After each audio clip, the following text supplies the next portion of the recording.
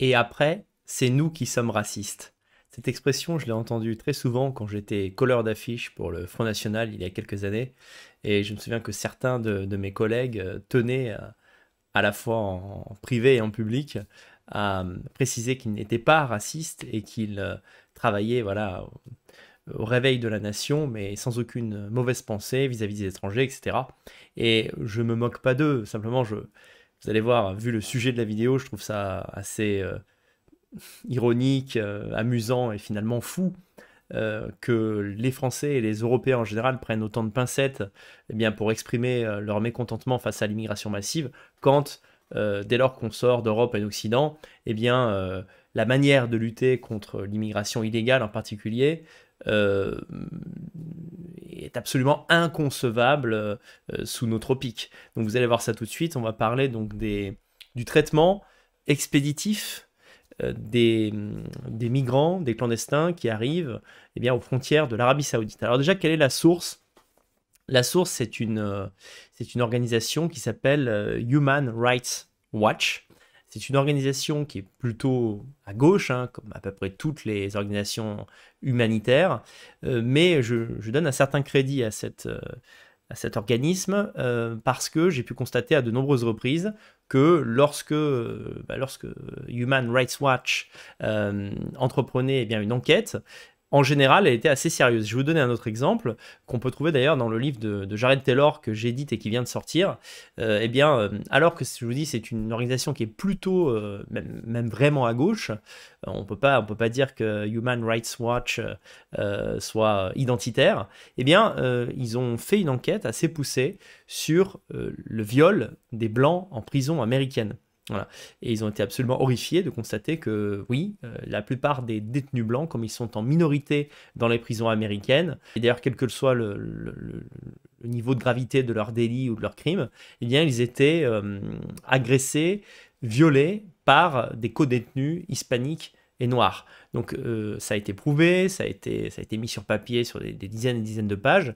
Et donc là, ben, cette organisation, cet organisme s'est rendu compte qu'il euh, y avait du grabuge en Arabie Saoudite et que certains migrants qui étaient euh, retrouvés morts l'étaient bien suite à suite à des blessures graves par arme à feu notamment et même par explosion de bombes, des choses qui des choses du j'allais dire du Moyen Âge, il n'y avait pas de bombes à l'époque, mais des choses qui, je le répète, sont inconcevables pour nous Européens et je crois pour la plupart des pays civilisés. Donc on va d'abord lire l'article et puis ensuite je vous dirai ce que, j'en pense, mais euh, bon. Frontière, l'Arabie saoudite a tué des centaines de migrants non armés à l'aide de mortiers et de mitrailleuses. Droit de l'homme, voilà, c'est le thème. Euh, j'ai collé euh, l'article sur mon site. En fait, je l'ai retranscrit et traduit de l'anglais vers le français et je vais vous en faire la lecture immédiatement. Les gardes à la frontière saoudienne ont tué des centaines de migrants non armés cherchant l'asile dans le royaume ces dernières années, donc le royaume d'Arabie Saoudite, selon un rapport publié lundi par Human Rights Watch. Les gardes frontières saoudiens ont utilisé des mitrailleuses et des obus de mortier pour probablement tuer des centaines, voire des milliers d'Éthiopiens, donc le nombre de morts n'est pas clair, mais il est énorme, qui tentaient d'entrer dans le royaume d'Arabie Saoudite a rapporté Human Rights Watch. L'Arabie Saoudite abrite actuellement 750 000 Éthiopiens, alors je l'ignorais, mais c'est beaucoup, effectivement, dont 450 000 sont entrés illégalement dans le pays en provenance du Yémen déchiré par la guerre, selon l'Associated Press. Les autorités saoudiennes tuent des centaines de migrants et de demandeurs d'asile dans cette zone frontalière isolée, à l'abri des regards du reste du monde, a déclaré Nadia Hardman, chercheuse sur les droits des réfugiés et des migrants à Human Rights Watch, dans le rapport dépenser des milliards pour acheter du golf professionnel, des clubs de football et de grands événements de divertissement pour améliorer l'image saoudienne ne devrait pas détourner l'attention de ces crimes horribles.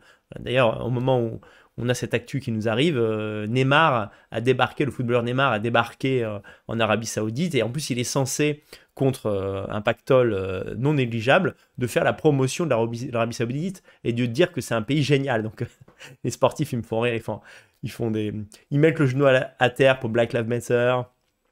Voilà, ils ont de, grands et de beaux mots contre le racisme. Et puis, dès qu'il y a un bifton énorme qui leur tombe sur le nez, euh, ils courent comme ça dans, un des pays qui, est, qui a les, les, manières les plus violentes vis-à-vis des étrangers.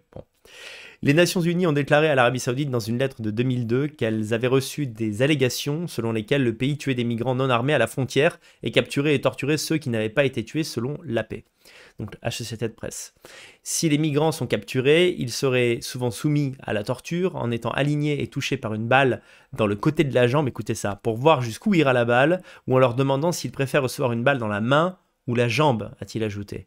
La lettre de l'ONU se lit, selon la paix, les survivants de ces attaques ont déclaré avoir dû faire le mort pendant un certain temps pour s'échapper. L'Arabie saoudite a répondu plus tôt cette année qu'elle réfute catégoriquement, évidemment, les allégations de meurtre systématique à sa frontière avec le Yémen, selon, encore une fois, je vais y arriver, Associated Press.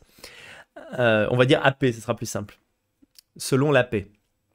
Un responsable du gouvernement saoudien a déclaré que le rapport de Human Rights Watch, publié lundi, a été sans fondement et non basé sur des sources fiables, mais n'a fourni aucune preuve pour étayer cette affirmation. Bon. Le rapport a été compilé à partir d'un examen de 350 vidéos et photographies recueillies entre 2021 et 2023, donc sur une période de deux ans, ainsi que d'un examen de centaines de kilomètres d'images satellites, selon Human Rights Watch. Ces informations ont également été recueillies grâce aux témoignages oculaires de 38 migrants éthiopiens et de quatre proches qui ont vu des gardes frontières saoudiens tirer avec des armes à feu ou des explosifs sur d'autres migrants tentant de traverser la frontière. Un migrant a décrit un cas survenu en juin 2023 au cours duquel des gardes frontières saoudiens ont capturé un certain nombre de migrants, les ont ramenés à la frontière, les ont relâchés et ont commencé à leur tirer des obus de mortier comme de la pluie alors qu'ils couraient vers le Yémen. Nous nous reposions ensemble après avoir beaucoup couru, et c'est à ce moment-là qu'ils ont tiré des mortiers sur notre groupe directement chez nous. Nous étions 20 personnes dans notre groupe et seulement 10 ont survécu. Ils nous ont tiré dessus comme de la pluie qui tombe du ciel. Bon, la phrase n'est pas très bien formulée, mais on comprend ce qu'il a voulu dire, a déclaré le migrant à Human Rights Watch. La mission de l'Arabie Saoudite auprès de l'ONU n'a pas immédiatement répondu à une demande de commentaire. Bon. Euh, effectivement, ça reste euh, je dirais, approuvé officiellement à 100%, mais euh, tout de même, euh, parce que vous dites, ah, c'est des témoignages, il y en a quand même 38 qui viennent de, différentes personnes à différents moments, à différents endroits, bien tout le long de cette frontière entre le Yémen et l'Arabie Saoudite, mais on a quand même des preuves vidéo, et je pense que Human Rights Watch ne serait pas avancé s'il n'y avait pas un fond de vérité dans cette manière de traiter donc des migrants. Alors, l'objet de cette vidéo, c'est pas porter un jugement de valeur sur la, décision de, enfin, la manière euh, avec laquelle euh, l'Arabie Saoudite se débarrasse de ses clandestins. Euh, ce n'est pas mon pays, voilà, j'irai probablement jamais. Ça m'intéresse pas, mais ce qui m'intéresse, c'est la comparaison avec la manière dont nous, nous sommes traités, donc les, gens qui veulent fermer les frontières en France, qui veulent les protéger du moins, qui veulent réduire l'immigration légale et interdire, j'allais dire, l'immigration illégale. De fait, l'immigration illégale est interdite, théoriquement, mais comme tous ces gens viennent avec un statut euh, de réfugié qu'on leur donne quasi automatiquement, eh bien en fait, on ne peut pas s'empêcher de les prendre. Et je dis que je trouve incroyable, parce que je, je vous rappelle que Emmanuel Macron est en bonne amitié, en bonne entente diplomatique avec, euh, avec l'Arabie Saoudite. Donc Macron va faire des voyages officiels, il serre la main de ces gens, il serre la main des gouvernants qui autorisent ce genre de pratiques euh, contre des humains. C'est des pratiques qui sont inhumaines. Enfin, je veux dire, c'est. Que ce soit Marine Le Pen ou Rick Zemmour, aucun des deux n'aurait même l'idée d'aller jusque-là pour empêcher euh, des migrants de venir sur le territoire. Enfin, il y a mille manières de gérer ça. Donc le non euh, total et dire non, vous ne mettrez pas les pieds chez nous, vous n'aurez pas la carte d'identité française, euh, voilà, vous, vous, ne serez pas intégré à la société, d'accord ça, je suis à 100% pour, mais eh bien, en fait, on peut concevoir une remigration pacifique, en tout cas un retour de ces migrants. voilà, on peut imaginer des, des, des, endroits où ils sont accueillis 4 ou 5 jours, et puis ensuite, on, fait venir un bateau, on les ramène chez eux. Enfin, ça, c'est des choses qui sont concevables euh, aujourd'hui, et je pense que vous serez tous d'accord avec moi. Il est inconcevable d'imaginer euh, qu'un pays européen, quel qu'il soit, euh, lutte contre les, migrants de cette manière. voilà, donc l'Arabie saoudite se permet certaines choses, mais bon, c'est un pays souverain, d'accord? Mais on observe ça de loin, on se dit, mais nos, politiques, nos journalistes, nos penseurs de gauche devraient être dégoûtés par ces pays-là, devraient lutter contre eux à 100%. Et Macron ne devrait pas, Macron ou n'importe quel président français, devrait créer une distance avec ces pays-là. C'est-à-dire que les, intérêts économiques devraient être mis de côté face à, la réalité, euh, je dirais, de cette violence et de cette barbarie. Bon, non seulement il n'en est rien, mais en plus, euh, Emmanuel Macron, euh, et les, chefs, les dirigeants de tous les autres partis, on va dire, de centre, de gauche, continuent euh, de, regarder le, les nationalistes français, les gens du RN ou de Reconquête, comme des monstres absolus. Donc il y, a un problème dans, la balance, il y a quelque chose qui ne va pas. c'est pas possible, on ne peut pas continuer comme ça, d'être vu comme des, espèces de, tueurs ou de, barbares en puissance, alors que d'un autre côté, au, présent, enfin en ce moment même, euh, dans certains pays du monde comme l'Arabie saoudite, les, méthodes employées pour lutter contre l'immigration illégale sont des méthodes euh, archaïques, qui, euh, enfin, non, non civilisées, euh, qui nous paraissent à nous tous, euh, qu'on soit de gauche ou de droite, complètement impensables. Voilà, je crois que c'est vraiment le bon mot. Et, j'ai voulu, à travers cette vidéo, montrer l'hypocrisie incroyable de nos dirigeants et ce, deux poids deux mesures qui est insupportable.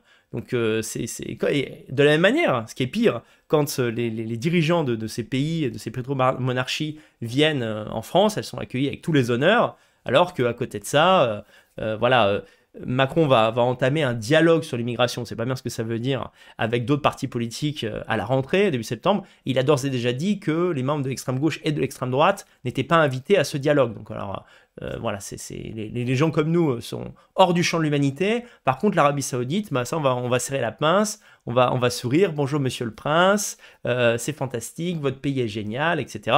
Bon, ça me fait, j'allais dire, ça me fait rigoler, mais non, c'est pas drôle. en fait, c'est énervant. Et euh, je, crois que ça, ça, doit aussi nous, montrer une voie pour le, pour le futur. Il ne faut pas s'enfermer dans le rôle des méchants de l'histoire quand on voit euh, eh bien, les, les, comportements, les actions, les choix euh, politiques dire, qui sont pris hors Occident. Et, plus que jamais, il faut le réaffirmer euh, euh, dire, à tous les journalistes du monde, à tous vos proches, à tous ceux qui essayent de diaboliser encore, encore, encore et encore euh, le, milieu nationaliste français. les Occidentaux sont les gens les plus civilisés, généreux et humains de la planète. Voilà, c'est surtout ça que je retiens quand je vois ça. C'est que même pour les, pour les plus radicaux d'entre nous, et je, crois parler d'une seule voix, vraiment, je, ne pense pas exagérer, je dis pas ça pour, pour bien, euh, bien faire ou pour être bien vu. Euh, imaginez, voilà, vous, avez des, des, gens qui approchent et vous, vous leur tirez dessus, euh, et puis en plus vous jouez un peu avec eux, vous lui dites vas-y, vas-y, échappe-toi, t'inquiète pas, tu peux aller vers le Yémen, et une fois qu'il part, tu lui tires dans le dos et dans les jambes pour qu'ensuite il meure de... Enfin, je veux dire, il meurt d'une septicémie ou il meurt de, de chaud dans le désert. Enfin, on, est dans, on est dans un film de torture, enfin, on est dans Saw, euh, voilà, et ça se passe en ce moment, en 2023. Donc vraiment, on n'a vraiment pas honte, euh, on n'a pas à avoir honte de porter les idées qu'on porte. Au contraire, on doit en être fier parce que euh, bah, notre position, c'est celle d'une position démocratique de droite et une position qui est humaine, qui, vous le verrez, j'en suis sûr, a de l'avenir parce que de plus en plus de, de, de, de gens, voilà, ils euh, issus de pays du tiers-monde vont essayer de venir vers des pays euh, plus riches, un peu comme euh, Jean Raspail l'a imaginé voilà, à l'avance dans le, camp des saints. Il faudra bien trouver une solution. Et je, suis persuadé que de nombreux pays européens, occidentaux vont trouver des solutions, vont arrêter, vont couper le robinet, mais d'une façon qui soit, je veux dire, humainement concevable en 2023. Voilà, donc on va continuer de suivre un peu cette affaire. L'article, vous pouvez le trouver sur mon blog euh, sans problème, vous pouvez le, lire, le partager.